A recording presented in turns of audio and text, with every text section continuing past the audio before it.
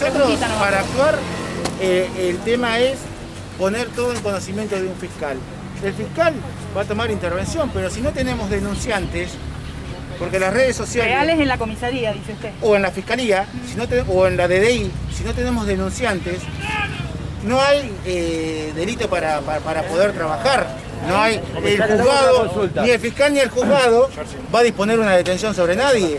Ayer una de las personas que cuando estábamos reunidos hizo problema, había, el día 29 terminó detenido acá y a los cuatro días le dieron la libertad, que fue por un tema de abigeato de un caballo que mataron.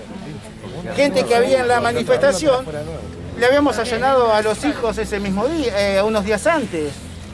O sea, Eh. nosotros ponemos todo a disposición de la justicia. Yo estoy continuamente a disposición de la gente.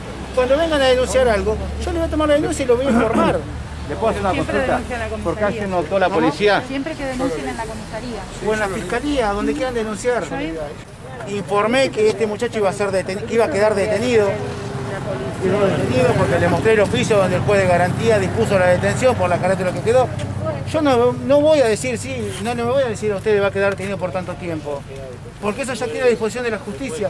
Todas las herramientas y todos los elementos que yo tenía, yo se los puse a disposición de ellos. Le mostré hasta la hora que ya yo le dije que se lo pasé a la una de la tarde de sumario. Una 12.57, porque le mostré hasta la hora.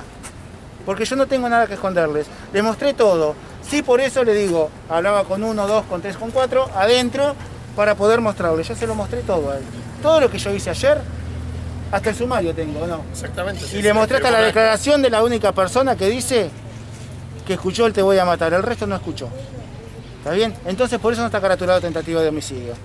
Si yo consigo más pruebas de vecinos que digan, sí, yo escuché que dijo tal cosa, sí, yo escuché que dijo tal otra, el fiscal lo va a imputar por tentativa de homicidio.